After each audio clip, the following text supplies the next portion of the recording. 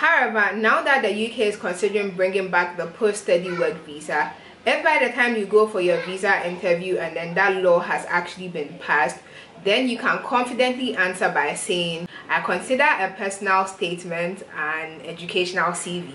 Naaku, how did you get your uni accommodation whilst you were in Ghana? Hi guys, welcome back to my channel. If you're new here, my name is Naaku Allotey and I create content around study abroad, lifestyle, fashion, beauty as well as vlogs. If this sounds like something you're interested in then do well to hit the subscribe button below to subscribe to my channel for weekly consistent videos if you're a returning viewer thanks so much for coming back so in today's video i'm going to be answering some questions that i received from you concerning study abroad some of you sent me DMs on Instagram. Some of you also left your questions in the comment sections of my previous study abroad videos.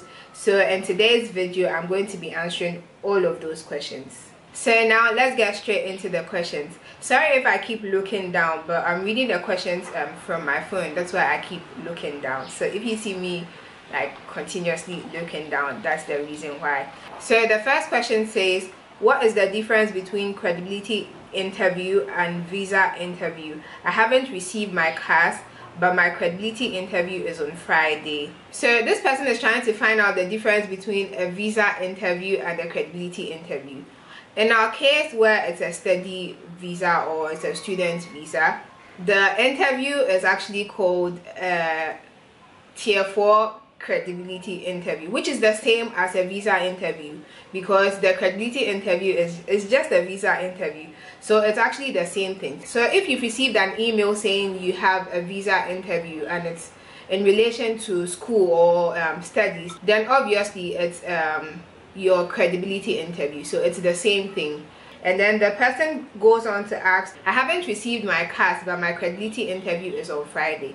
If you have watched my previous study abroad videos i kept stressing on the importance of having your CAS statement before your visa appointment. There's no way there's no way you would be granted your student visa if you don't submit your CAS statement. So I advise that before you even go ahead to actually book your visa appointment and all of that, make sure you have your CAS statement because that is one of the most important documents you need to have. Make sure your CAS statement is ready because without your CAS statement, there's no way you are going to get your visa.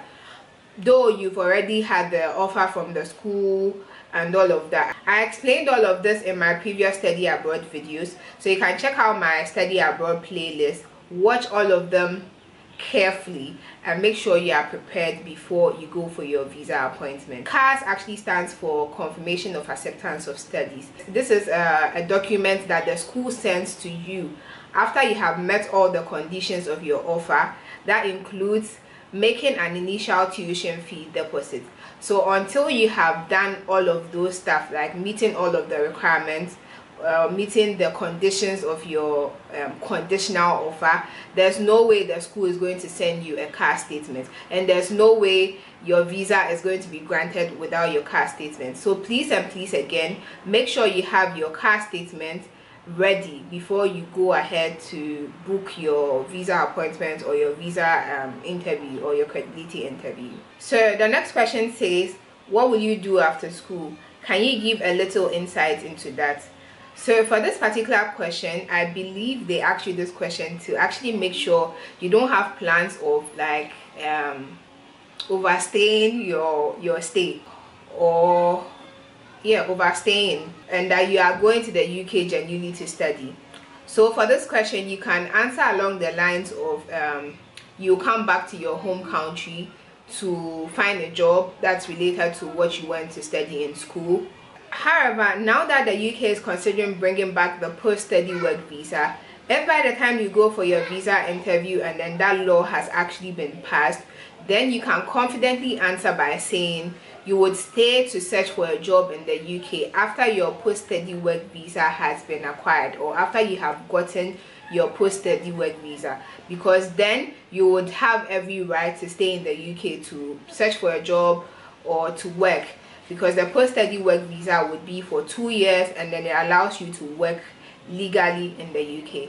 So if by the time you go for your interview and this law has been passed, then you can confidently answer by saying this. The next question says, Naaku, thanks a lot for this video. Can you tell me something about the tier 4 visa? Where do I get the acceptance letter? And did you write a personal statement? Okay, so first of all, she asked if I wrote a personal statement. Yes, I did. A personal statement is one of the requirements or one of the things you need to do or need to write when you are submitting your application. I consider a personal statement an educational CV. So yes, I wrote a personal statement and most universities require you to write a personal statement when um, applying for admissions. So definitely you would write a personal statement when you're applying to the university for any program of your choice. Um, I will do a detailed video where I will take you through um, how to write a personal statement, what a personal statement is, how to make your personal statement convincing enough so that you be granted admission. So this is something you should watch out for. It will be going on my channel very, very soon. Also, she asked about acceptance letter and where do you get the acceptance letter from an acceptance letter is written by you the applicant so after the university has agreed to grant you admission um, they send you your conditional offer the university expects to know if you have accepted that conditional offer or they can give that offer to someone else so an acceptance letter is basically for you to let the university know that yes I still want the offer and that you are going to meet the conditions of that offer. The conditions of the offer include um, a reference from your from a lecturer from the university or from a teacher from your SHS depending on the level of education. It also includes um, making your initial tuition fee deposit and all of those stuff. So the acceptance letter is basically for you to let the university know that you have accepted the offer that they have um, granted you and that you are going to meet the requirements of the offer. The next question says, um, hello, I got my CAS today and in my email, I think this person is not like Ghanaian or this person's first language is not English so it's I don't know so let me read it how I understand um, hello I got my CAS today and in the email um, well, so basically what this person is trying to ask is um, who conducts the credibility interview. Um, the person is asking if it's the university or it's the embassy. So I would say the embassy because the, the university is not the one conducting the interview. However, the CAS statement is provided to you by the university after you have met all your all the conditions of your offer. So yeah, it's conducted by the embassy, not the university. The next question says, Naaku, how did you get your uni accommodation whilst you were in Ghana?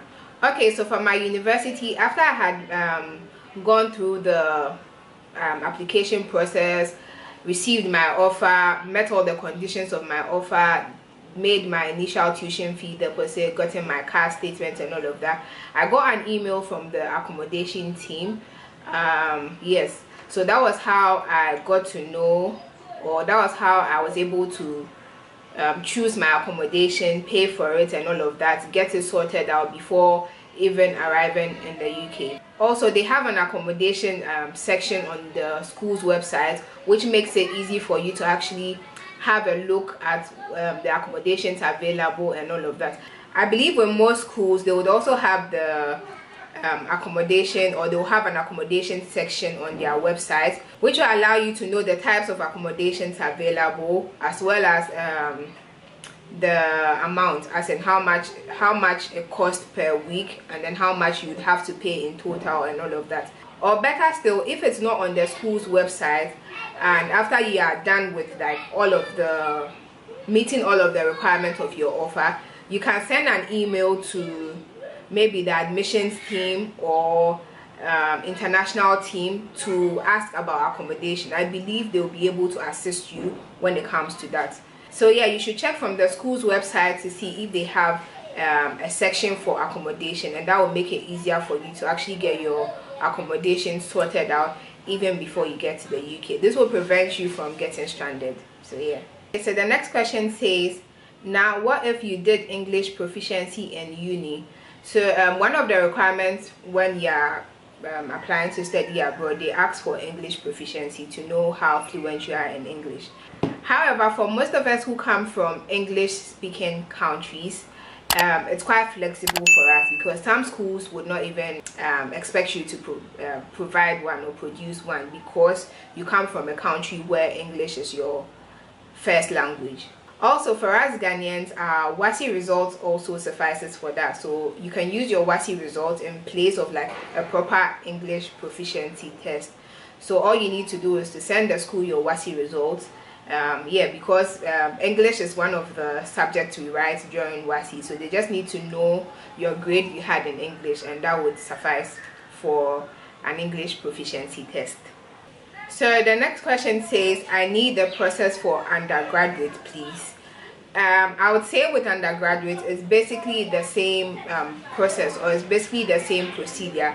So if you've not checked out my video on the processes and requirements for study abroad, it will appear somewhere up here just click on it and go watch the whole video however um, some of the documents might be different because um, if you are applying as an undergrad obviously they would expect that you um, submit your WASSCE results not your transcript or your certificate from your first degree because you don't have a first degree so there will just be some slight changes here and there concerning the documents you are supposed to um, present. Aside that, the process is very much the same. So do well to check out that video where I explained everything, the process and then the requirements.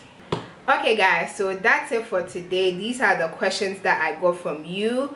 Um, if you do have any other questions, feel free to leave them in the comment section below feel free to send me a dm on instagram at Naaku Allotey on instagram and i'll probably do a part two to this q&a or just answer you in the comment section or through my dms so feel free to send me any other questions that you have. And, and don't forget to check out my study abroad playlist because i have very detailed information on studying abroad the processes requirements um, your documents that you need to have um, the study abroad documents list possible questions you are likely to be asked during your credibility interview. So please do well to check it out if you do want to study abroad it's something that you need to check out before you start your whole study abroad process.